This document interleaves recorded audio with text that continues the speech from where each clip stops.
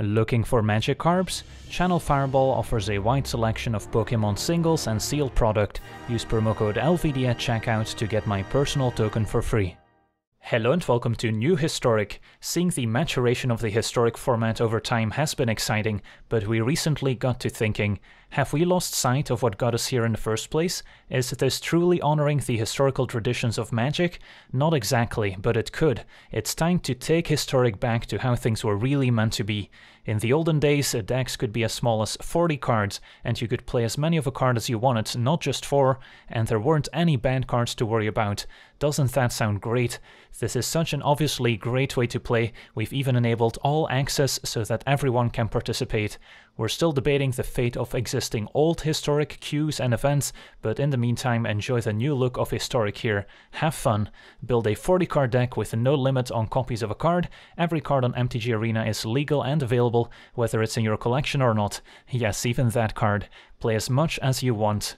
And today's deck is going to be a mono-red combo deck titled Newlamog, featuring 23 basic mountains, 14 copies of Stonecoil Serpent, 2 copies of Ulamog the Ceaseless Hunger, and a Tibalt's Trickery. So our game plan is very simple, mulligan until we can find a Tibalt's Trickery, then ideally we keep 2 basic mountains, 1 copy of Stonecoil Serpent, on turn 2 we hold priority in full control, cast Stonecoil Serpent for 0, counter it with our own copy of Tibalt's Trickery, which is then guaranteed to hit one of our Ulamogs, which will get cast, exile 2 of the opponent's permanents, including lands potentially, and then we get a 10-10 indestructible that when it attacks, defending player exiles the top 20 cards of their library, and in a 40 card format it only takes 2 attacks from Ulamog to win the game.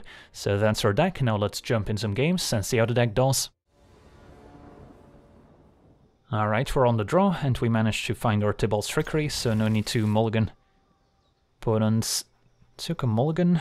Usually when you see your opponents mulliganing, it means that they're also trying to trickery us, since most of the other streamlined decks don't really have to mulligan that often. Although we do see Watery Grave, so could still be some sort of mill deck. I've seen a couple different decks so far.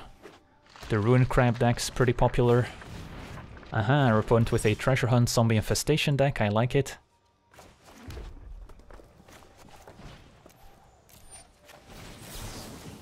So Trickery on Stonecoil, and we'll exile two lanes. Now our opponent does seem to be playing more than 40 cards, but they're still gonna probably get decked before they manage to do anything impactful here. On to the next one. Alright, we're on the draw. Let's take a mulligan. And find the trickery here. There we go. And then we'll keep two alliance, two stone coils, and a trickery. And our opponent's playing the Stitcher Supplier builds that's trying to mill multiple copies of Creeping Chill. I've definitely lost to this deck with a turn to Ulamog before, just because they can potentially still block with the Stitcher Supplier and mill those uh, Creeping Chills after we get Ulamog in play and drain us to death before we mill them out.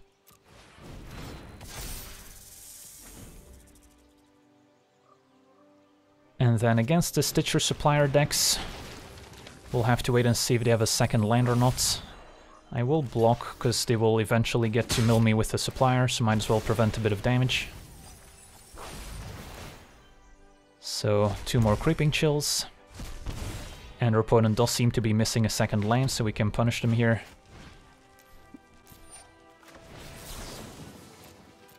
Just gotta avoid milling our second Ulamog. Hmm, there he is. At least we don't trigger Supplier by exiling it. Now, the game's not over yet. If our opponent finds a land here, they could still be in it. But now I think it's gonna be game over. Since we get to mill them for 20. Cards also get exiled, so they don't trigger Creeping Chill. And now if they play Supplier, their library will be gone. I guess there's still a chance they would have two copies of Creeping Chill, but yeah, even with double Creeping Chill we would still be at two. So on to the next one.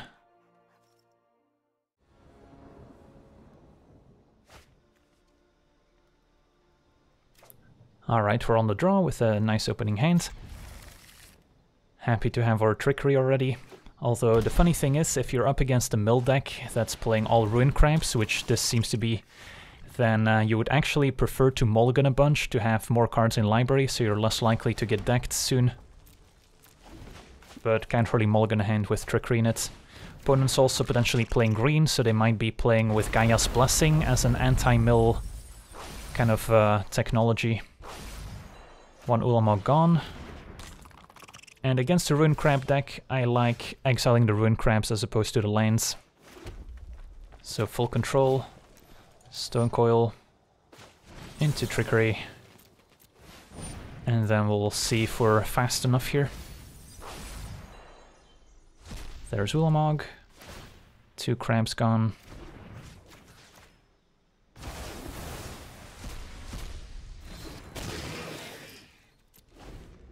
Sadly, we cannot play Gaia's Blessing in our deck, otherwise we could hit it with Tibalt's Trickery. Right, so they've got triple crab online. So that mills us for 9. If their last card is a fetch lands, we could be dead. But most decks I've seen so far haven't been playing with Fabled Passage. And let's see what the green is for. Growth Spiral, apparently. I guess it also makes sense with Ruin Crab. And Oko, Thief of Crowns, because why not? Alright, let's see if they have a Fabled Passage. Or maybe Growth Spiral and two lands. If they don't, and their opponent explodes, we're gonna exile 20 more cards, and the opponent's gonna draw from an empty library onto the next one.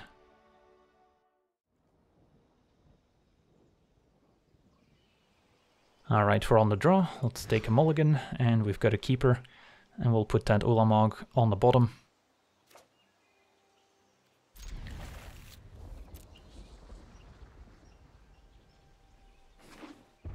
Opponent also on the Trickery deck, I think. Being on the draw might actually be an advantage, because the opponent can cast a turn to Ulamog, exile one of my lands, one of their own, but then we should still be able to Trickery before they completely mill us out, and that should win the game. So Stone Coil into Trickery. So this is the first time I've actually faced a true mirror match where the opponent's playing more or less exactly the same build. Their numbers of uh, basic mountains and Stonecoil Serpents and Ulamogs might be slightly different. And yeah, the opponent has to exile their own land here. So, yeah, we'll see how this goes. Opponent exiles 20 cards, good hope we have an Ulamog left in the deck, and since we mulliganed and put one on the bottom, we know that's a guarantee here. Stonecoil for zero. Trickery.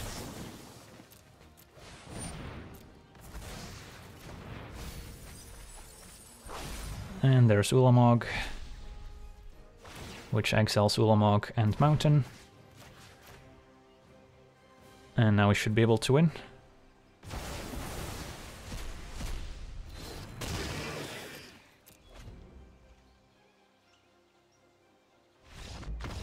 Alright, sweet. On to the next one.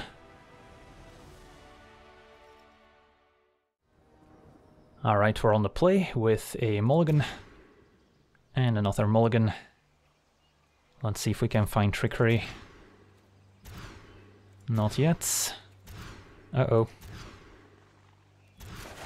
Well, looks like we have a bit of a bust here. Pass a turn. Don't love my chances. Opponent with a Lavaglide pathway. Well, at least we've got a lot of cards in library in case we're up against the mill deck. Stonecoil for one. So it looks like a trickery deck to me. Do I hold my mountain? I think I do.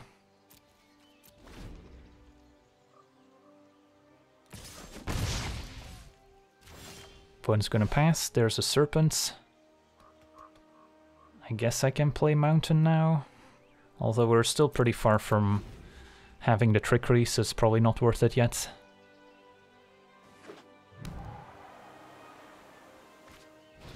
Stonecoil for zero. And we'll see how the opponents built their trickery deck. Well, they're playing more than one trickery, so they have a fail rate in their deck, since they could hit another trickery at any point. Ulamog forced to exile their own permanents here.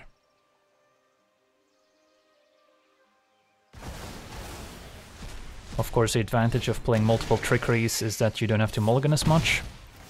But then you also have to diversify your win conditions, since if you uh, only have Ulamog, then you're about as likely to hit an Ulamog as you are another Trickery if your entire deck is Stonecoils. And looks like our Trickery's gone here, so that's gonna be game. GG's.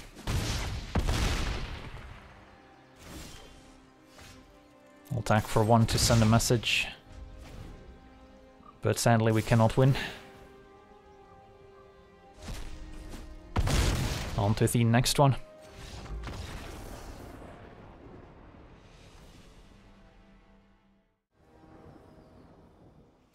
Alright, we're on the draw, and we've got a keeper.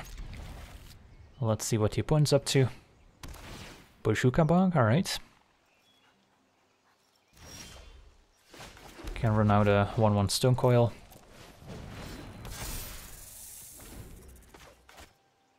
I haven't encountered any Thoughtseize decks yet, but those could be effective at disrupting our trickery.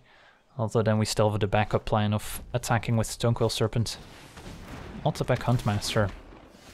I guess they've got a Rotting Regisaur deck, perhaps? Play Stonecoil into Trickery. And then I probably exile the Huntmaster and Bojuka Bog. And then our opponent packs it in. On to the next one. Alright, we're on the play, and we've got a keeper. Our opponent playing a 115 cards deck.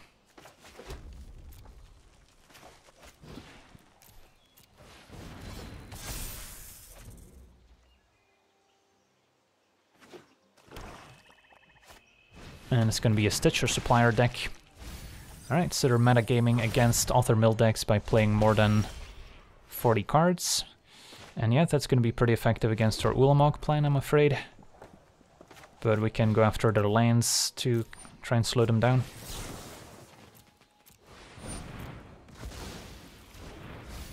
Problem is, it's gonna take a lot of attacks from Ulamog to win the game. And our opponent can just chum block with Supplier and eventually drain us to death with the Creeping Chills, so... Yeah, I'm kind of liking the opponent's build. They've got the Creeping Chill against Author Mill decks, but maybe they just kept a landline hands and they scooped it up. Because yeah, they could have still potentially beaten us if they could play a couple suppliers here, but guess I'll take it. On to the next one. Alright, we're on the draw with a keeper. Been pretty lucky to get Trickery in our opening hands, but with a London Mulligan it's usually not too difficult to find it before it's too late.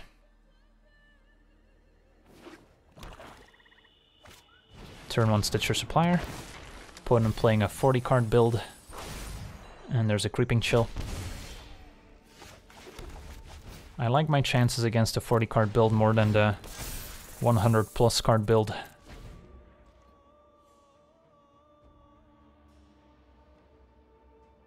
And then against the supplier deck, I typically like exiling the lands as opposed to the Ruin Crab deck where I want to exile the Ruin Crabs.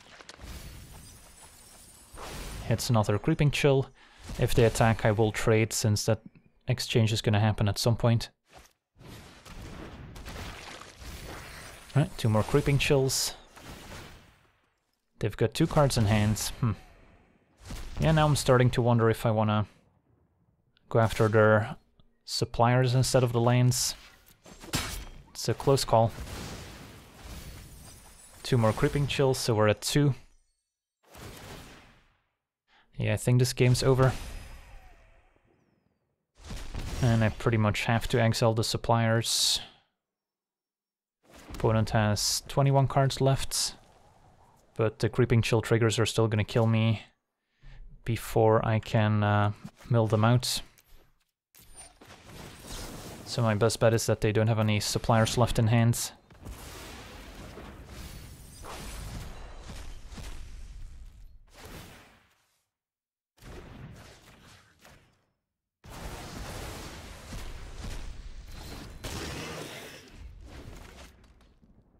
Let's find out. They could also miss with Supplier if they play it. Phyrexian Tower can sacrifice it, so that's gonna be six cards milled. And they found a Creeping Chill. Alright, GG's. On to the next one.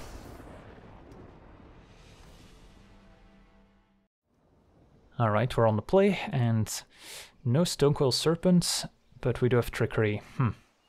How do we feel about this one? This might be a mulligan. We also have an Ulamog in hand, so if the other one gets milled or we draw it, it's also a disaster. Alright, this is better. And we can put Ulamog to the bottom. So it seems like the metagame is slowly settling into the Stitcher Supplier builds. I wonder if we can exploit it by building some sort of Legion's End deck that can exile a bunch of suppliers at once and Maybe add Thoughtseize for the Tibalt's Trickery decks. As we're up against another Stitcher Supplier deck. Also playing Village Rites as a sack outlet. Well, we've got the turn to Trickery, so maybe being on the play will mean we're fast enough.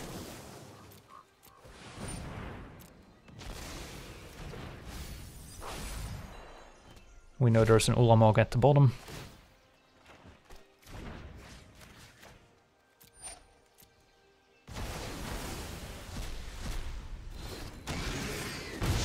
And our opponent playing a 40 card version, so two attacks should be enough to mill them out. Alright, two more Creeping Chills. They also get to block and potentially mill more.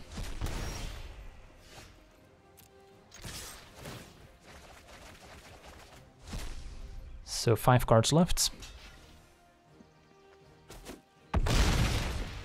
So they're gonna mill three, have two cards left, take a draw step, so I don't think they can win anymore now. Since if they play Stitcher Supplier, at most they can deal 3 damage to me. And then they will be dead. Sweet, on to the next one. Alright, we're on the draw. Let's take a mulligan.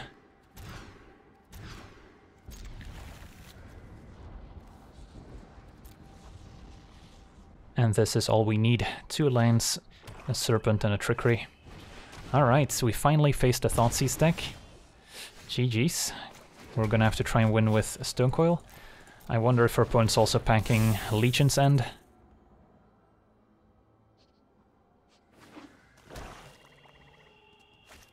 Yeah, opponent's playing exactly the deck I was describing a second ago. Well, we do have more stone coils in the deck, so I wonder what the opponent's win condition will be.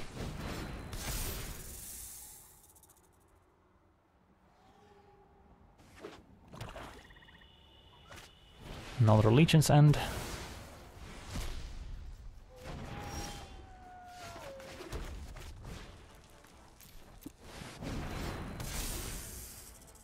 So they had the Thoughtseize for the Trickery, the Legion's End for the creatures, which most decks tend to have only one of each. Alright, a Liliana, Waker of the Dead. Luckily drew another Stonecoil, so we're still in it.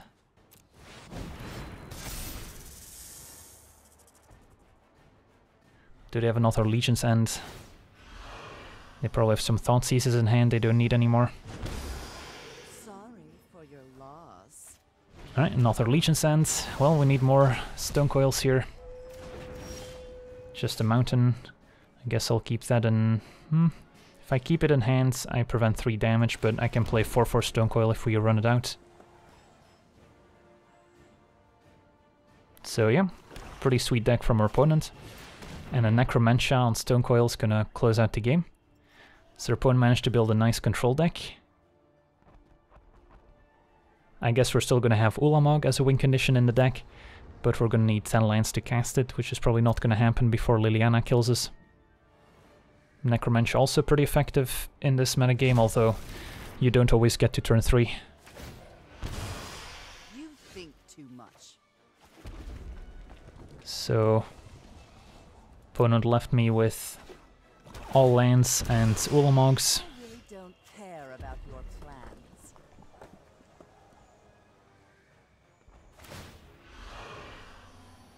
Yeah, it feels like, let's see. I'm at 8, 7 lands, go to 5, go to 2. Yeah, I think I'm gonna be one land short of casting Ulamog, even if we draw it. And another Necromentia can get rid of Ulamog, which is our final win condition. And yeah, Liliana's gonna take over this game. They did need to draw exactly, you know, Thoughtseize into Legion's End, into Liliana, into Necromentia, so they probably had a nice uh, sequence of draws as well to draw everything in the right order. But regardless, opponent's pretty much doing what I wanted to try out myself, Doing things my way. and that's gonna be game. Opponent can ultimate Liliana as well. I can keep discarding to prevent taking 3, think too much. but we're definitely gonna mill before the opponent does.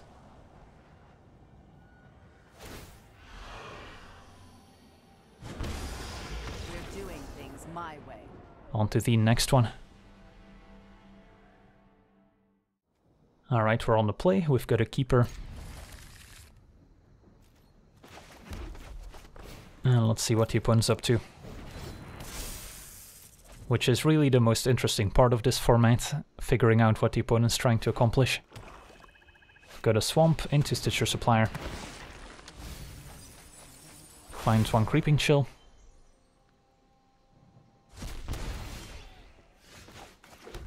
Of course, one thing to keep in mind about the Stitcher Supplier decks is that they're going to be holding some number of Creeping Chills as well that they're never going to cast. So their hand might not be as powerful as it may appear.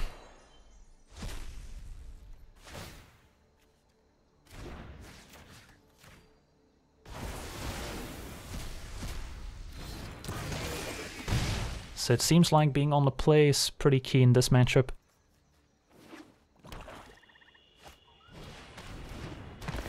And then the opponent's luck with milling creeping chills is also very relevant. And they've gotten pretty unlucky so far. Lots of creeping chills there. Not sure what the correct ratio of lands versus Stitcher Supplier versus creeping chill is. Opponent's got one card left in library. Don't think that's gonna cut it. Yeah, so if I were playing a Stitcher Supplier deck, I would definitely play more than 40 cards.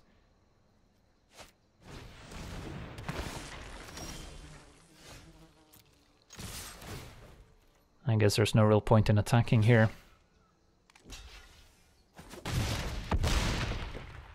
We'll pass a turn.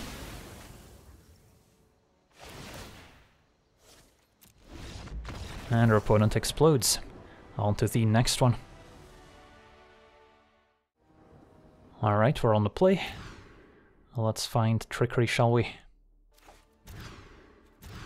There it is. Two land Stonecoil Trickery. All according to plan. Just gotta dodge a Thoughtseize or some counterspell.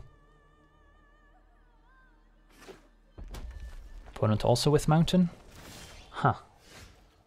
If the opponent's also playing the Trickery deck, it might be correct to wait and let the opponent Ulamog first. Now I don't have an extra land yet. Our opponent cycles Forgotten Cave. Yeah, I want to wait for them to Ulamog first. But then I will need an extra land.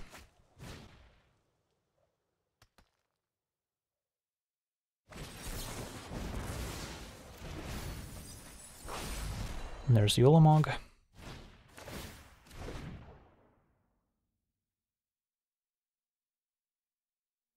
Opponent has to exile one of their own lands as well. But presumably the opponent only has the one Trickery in their deck, so that's the only Ulamog that they'll be casting.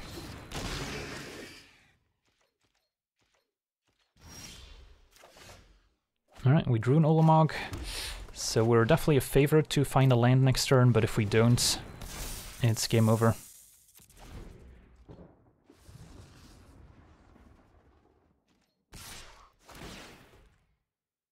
And my author Ulamog also got exiled here, so that's also game over. Alright, well, we played the odds here, but they were not in our favor. Could go for the turn 2 trickery anyways, and then hope that the opponent doesn't have more than two lands, but that seems unlikely when they kept a full grip. So I can Stone Coil into trickery, and then hope my opponent concedes before I actually cast the Ulamog.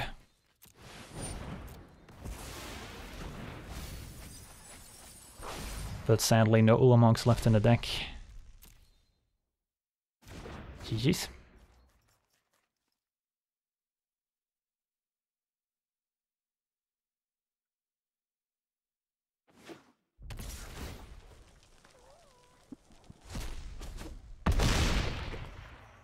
On to the next one.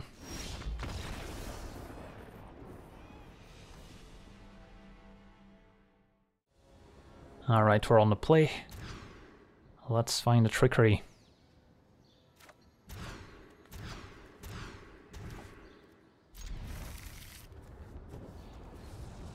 Well, we get to keep trickery and a land.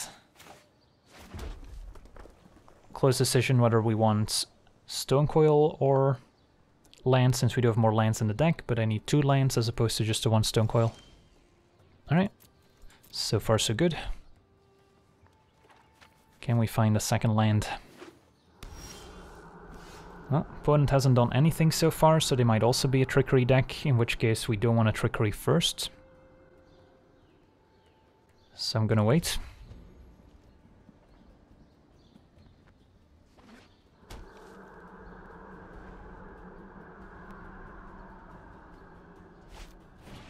Going to be Olisar Shepherd into Trickery instead.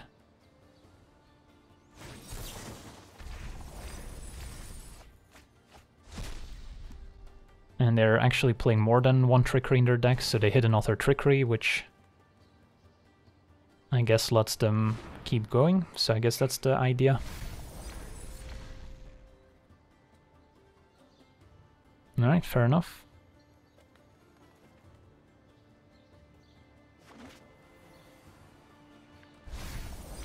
And they've got Platinum Angel as their win condition. Are they gonna hit an Ulamog as well? Or is it just Platinum Angels? They are slowly milling their entire deck. Well, this is fascinating. Alright, they finally hit Platinum Angel.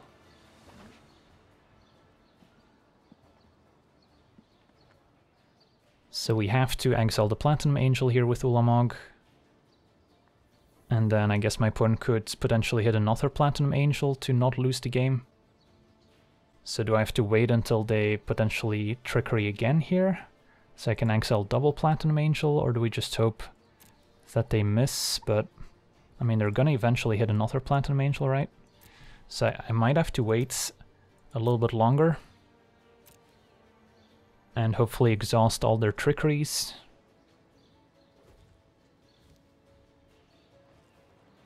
We're at 15. I only really need one attack with Ulamog, but if they have another Platinum Angel in play, it's not going to work out for me. So they're going to fire off the Trickery.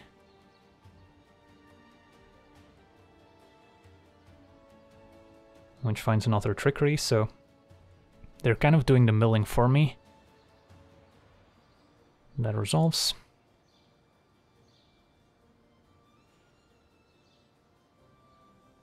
And hits the second Platinum Angel, so this is as good as it's gonna get for me. I can exile double Platinum Angel and I gotta hope they don't put another one in play.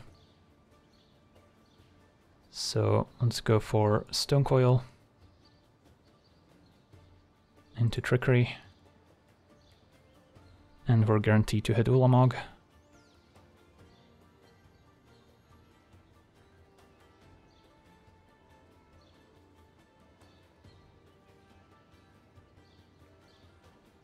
And I can still play Stone Coil, but I guess I'll play a bigger one. Right, let's see if they can trickery into another Platinum Angel here. No, they don't, and they explode, so patience was key in this game. On to the next one. Alright, we're on the draw with a Mulligan facing a Jegantha deck. Curious to see what that's all about. Might just be a trickery deck. Free rolling Jegantha, although it's probably not getting cast. So we'll keep, and then against trickery I think keeping extra lands is more important. And yeah, we'll just try and be the second ones to trickery as opposed to the first. Haven't played against someone who slow rolls their Ulamog.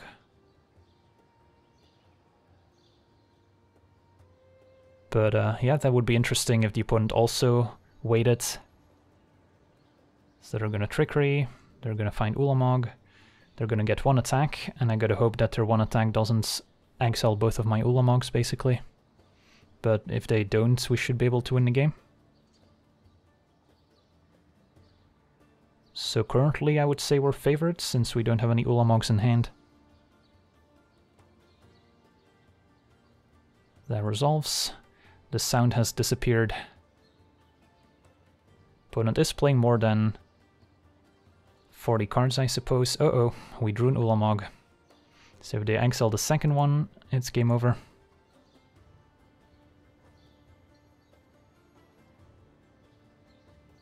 And looks like they didn't, so we should still be able to combo off here.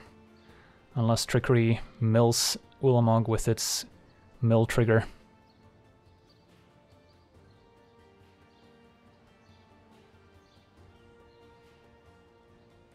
Ah, they're gonna play a 2-2 Stone Coil.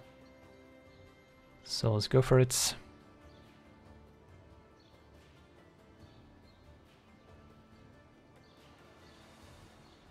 Oh no, we milled Ulamog. That's unfortunate. Yeah, well, there you go. There's a disadvantage to waiting. So that's game. Sadly drew one of the Ulamogs. On to the next one.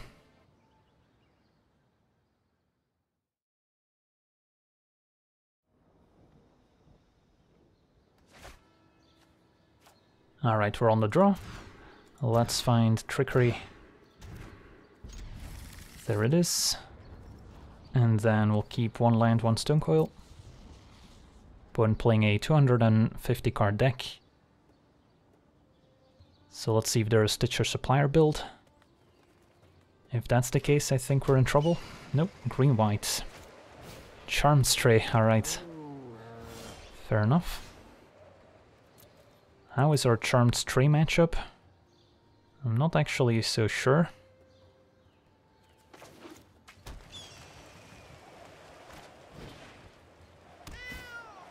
Do we go after the Charmed Stray or the Lanes?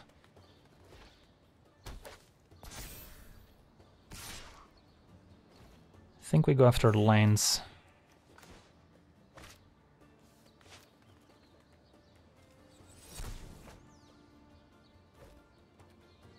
And then we do have Stone Coils in the deck that can eventually be cast as well.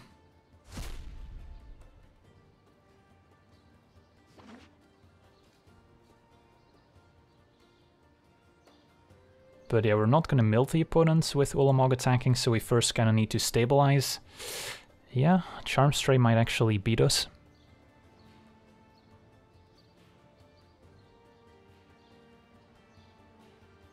Another Charm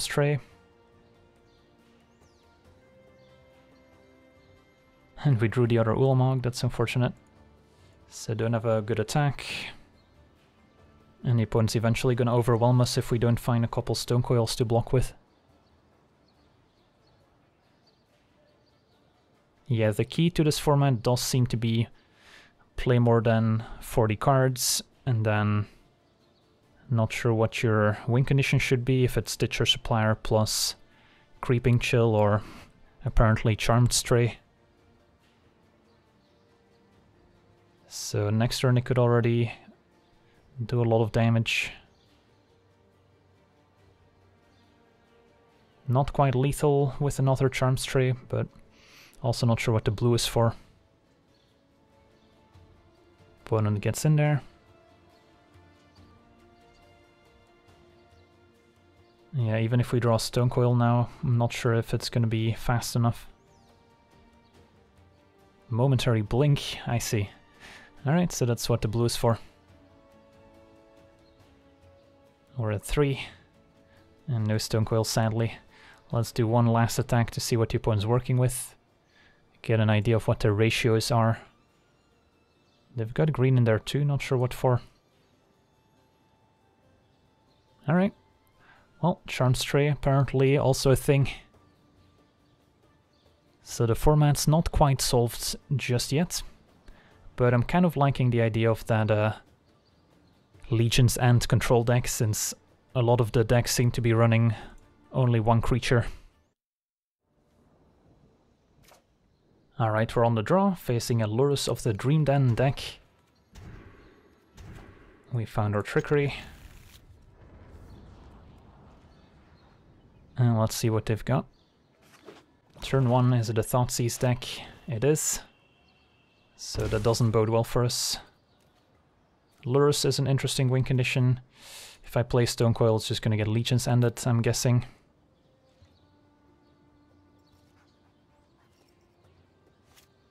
Another Thoughtseize.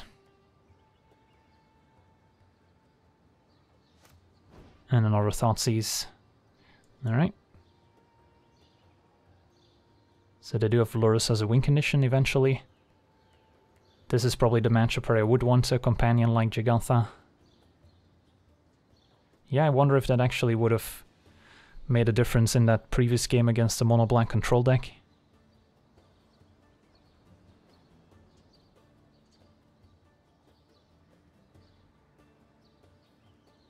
Just uh, play land pass. Opponent's hand must be all Thoughtseizes and Legion's Ends.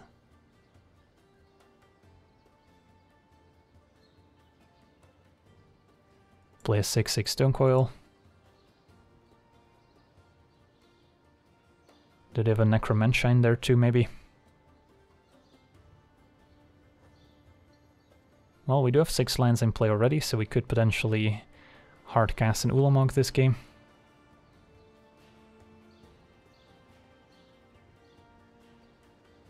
Another Stone Coil. And our opponent is at 12, so they can't really take too many hits to potentially cast something other than Legion's End.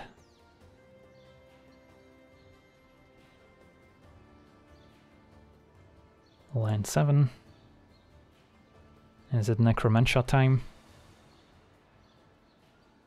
Or do we put our companion in hand? It's gonna be Necromentia.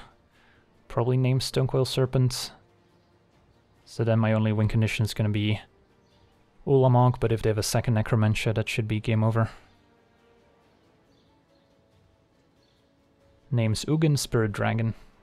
Well, that's not my win condition. But they do get to see my deck, so the second Necromentia is gonna have a better guess.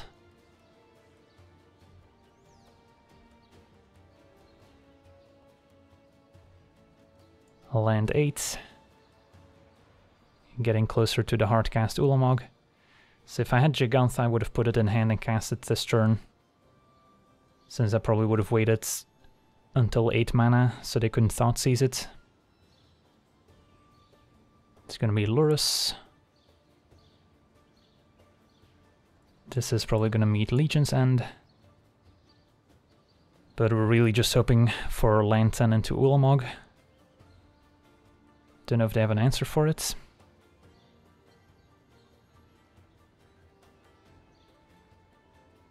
Alright, Lantern.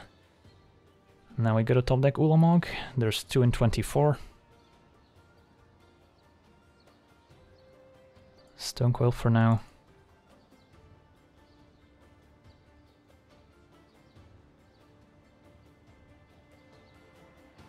Another Necromentia is probably also game over. But my guess is they're just holding Thoughtseize.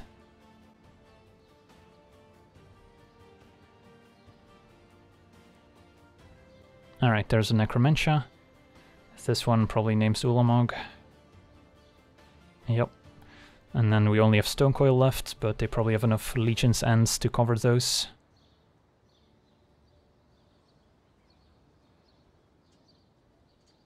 Keep land in hand now.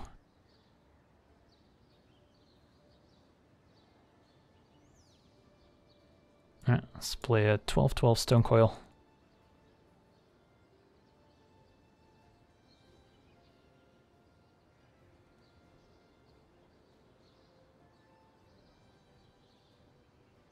Thoughtseize themselves, revealing triple Legion's End. They've got one to spare. Castle Locthwain as well, so maybe they just wanted to empty their hand. Another Stonecoil, and that's gonna be exiled by Legion's End, and that's gonna be game over. Alright, GG's. So, yeah, having a companion probably would have made a huge difference in this game, so definitely make sure to include Jegantha, the Wellspring, in your deck, or some other companion that you can run. Don't think we can run anything other than Jegantha though. But yeah, overall this format's been quite fascinating to kind of see develop in front of my own eyes, because the first couple decks were all the Thieves Guild Enforcer mill decks, then people started to adjust with their creeping chill decks, which were good against the mill decks. So it's been a pretty wild ride, and I'm curious to see where this metagame develops in the next couple hours. But for now, I want to thank you for watching, hope you enjoyed, and as always, have a nice day. I also want to thank all my patrons for being part of the channel, and you can become a patron yourself today and decide the topic of future videos over at patreon.com forward slash legendvd.